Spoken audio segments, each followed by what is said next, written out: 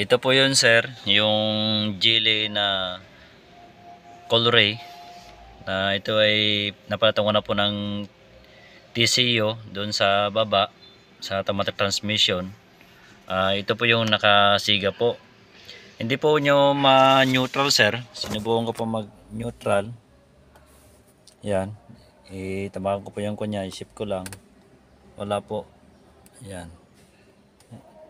Hindi po ma-shape ma malagay sa neutral. Okay lang ba ito sir na i-proceed ko ang program ang programming sir? Yan, kita po ninyo. Ah, pumasok na po ako dito sa may replaced uh, 7 DCT, the TCU control. Yan. Nandito na po, naging normal na po siya. Uh, gina-process na lang po. Yan ang hirap po talaga mag-programming ay kailangan po lang tayo ng may procedure para yun ang sundan natin. Ayan okay na po siya. Kita po ninyo okay na siya. Ayan. okay. Uh, performing clutch to pressure characteristic and self-learning. Yan siya performance self-learning. Yan okay na siya.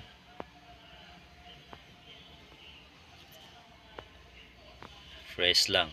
Uh, tingnan po natin ayan. So okay naman siya. Uh, makukuha po natin ma po natin kung paano pala mag program sa TCU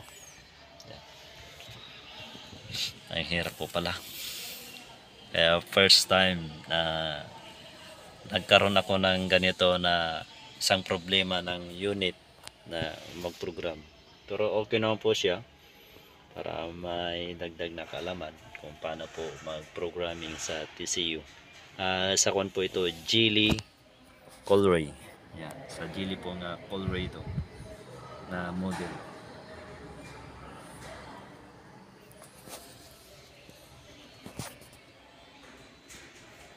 Ayan. Uh, okay na po siya. Ayan click and neutral learning ito na po naka neutral na po siya. Ito po ninyo.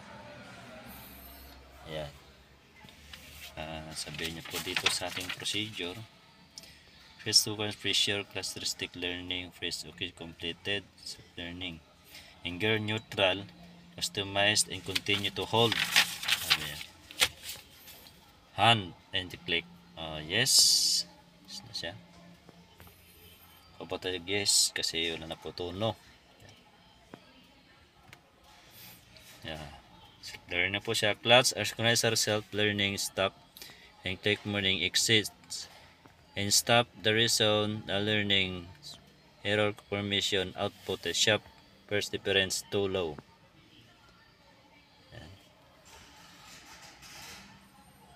Too low.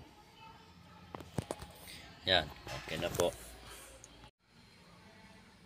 Yan na sa ECU refresh. Ah, nakita po ninyo.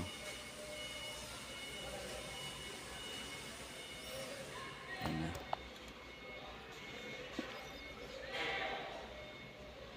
Five part, two parts and completed.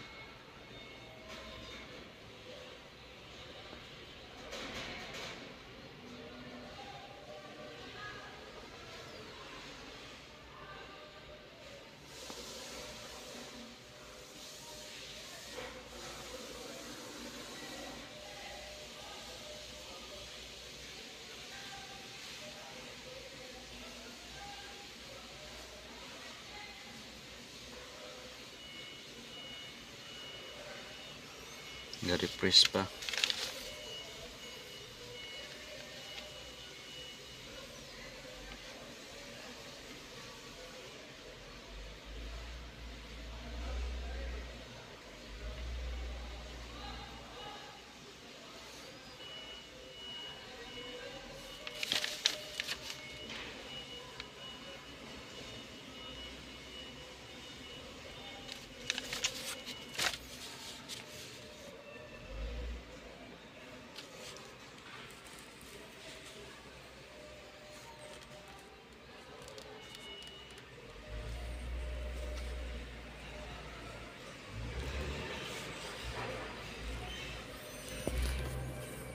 Yeah.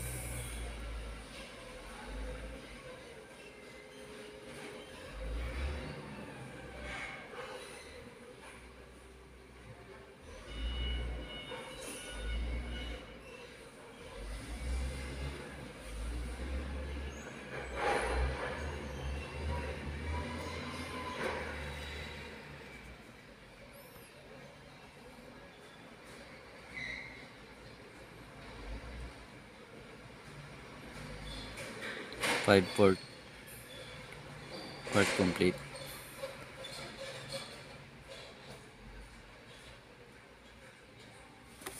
Yan nag-iba po yung kanya. Yan airbag. Ayan nakita po ninyo. Dito na po tayo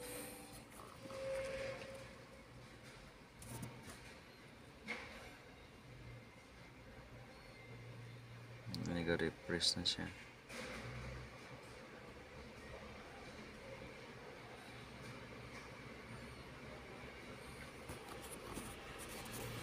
Ayan.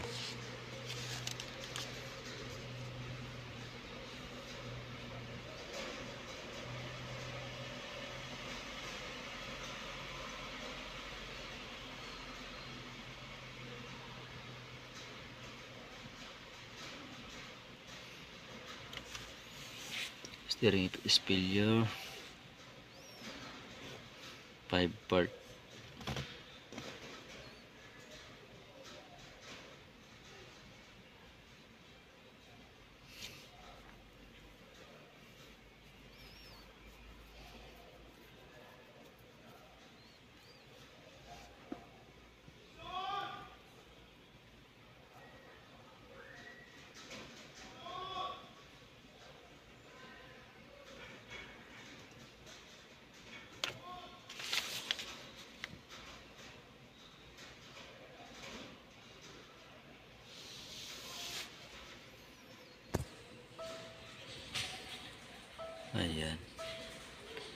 5 parts.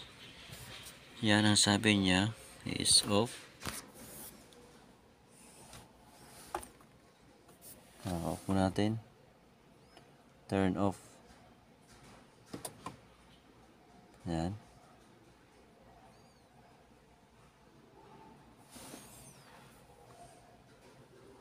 Yan successful na siya. Pin natin. Switch 1 minute okay. Ayan. Kompa natin? Okay na. Processing. Yes okay. Safe learning finish. Okay.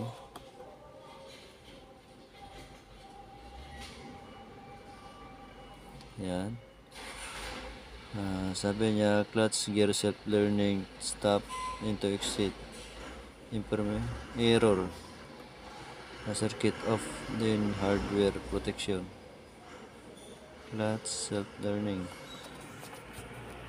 Sabi nito.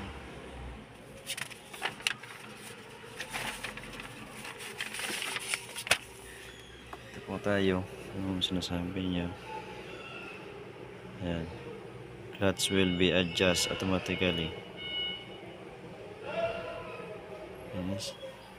sabi niya self-learning reason spelled. Uh, clutch gear self-learning stop. Stop the reason self-learning. Failed. Is error. Yun ang problema nito. Ayan ito na po ay tapos na po ang programming sa Geely Colry 2020 model po. Ah, ayan. Complete na po. Ayan wala na po nagsiga po dito. Sa yung dashboard okay na. At maraming salamat sa mga sa pag-guide sa procedure at lalo na po sa ang aming pinaka sa sir sa technical. Yan. Uh, okay na po. Uh, ito ay nagpalit ng TCO, Automatic Transmission Control Unit sa kanya, transmission module. Yan. Okay na po ang lahat. Uh, ito po ay i-road test ko na lang po. Uh, Ayan. Makita po ninyo, makitest drive po ako ngayon. Kung wala na po magsisiga dito na mag light sa indicator light dito sa dashboard niya. Ayan. Okay na po siya. Ah, maraming po salamat sa mga nanonood sa aking YouTube channel. Uh, Marins Gares lang po. Yan, aking YouTube channel. Sana updated po kayo sa aking mga followers. Yan. Maraming salamat po. Bye-bye.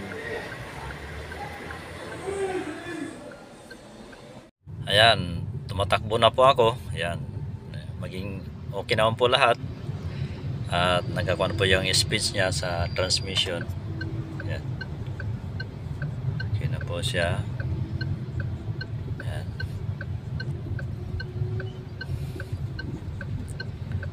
So, ayan. Okay siya.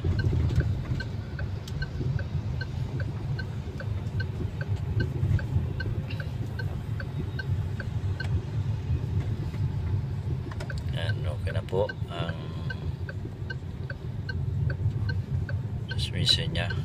Tapos na po yung programming. Maraming salamat po sa mga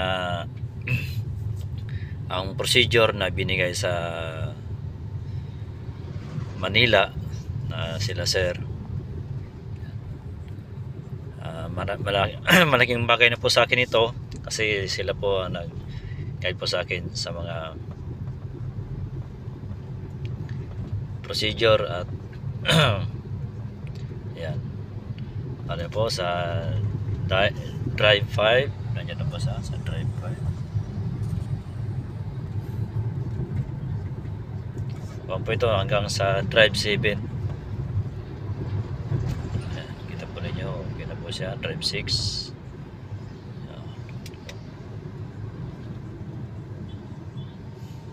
Ayan. Okay na. Automatic kasi siya nakababa yung drive niya. Ayan, Kita po ninyo. Yan po lahat.